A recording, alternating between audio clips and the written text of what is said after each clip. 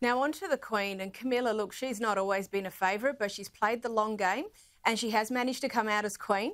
Uh, there's a great piece in Tatler this week about Camilla's evolution from the most hated woman in England to the nation's grandmother. Tell us about it.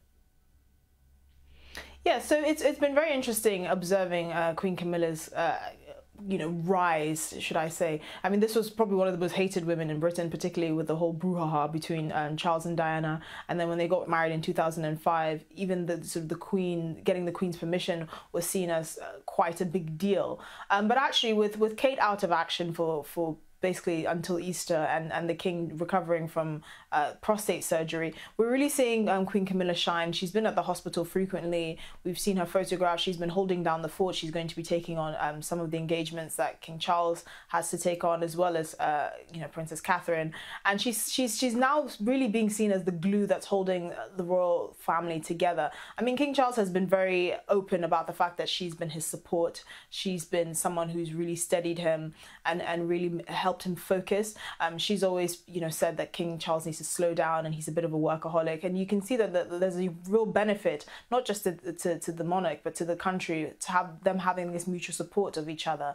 And, uh, you know, the, the Queen has had to deal with a lot. I mean, she's had to have a whole kind of PR rebranding um, scheme just to rehabilitate her public image after. Uh, King Charles's acrimonious divorce with with Princess Diana. Um, but you can see that she's really come out on top. And at the end of the day, she seems more human to most people than sort of what the tabloids painted her as, certainly in the 1990s and the early 2000s.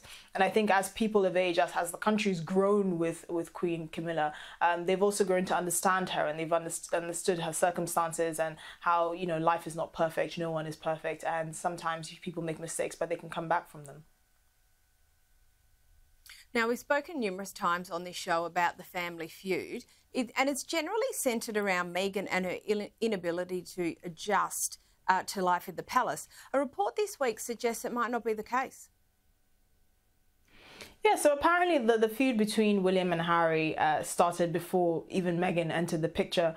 Apparently there was there were differences between their work ethics and their approaches to various charities, particularly when it came to so their charities in Africa and uh, uh, wildlife preservation. So uh, William preferred a more local community approach, where he where local communities were empowered to actually uh, conserve, uh, you know, uh, animal preservation um, territory and all of that, where uh, Harry wanted to have a more I suppose active or forceful approach um, where he would you know force um, external organizations to to meet quotas in terms of preserving wildlife. I mean he did say in his book spare um, that he and william got into an argument about africa and africa being williams as he, he quotes him saying. Um, but clearly they're both quite passionate about wildlife and and their activities in africa and they might have a different approach to it.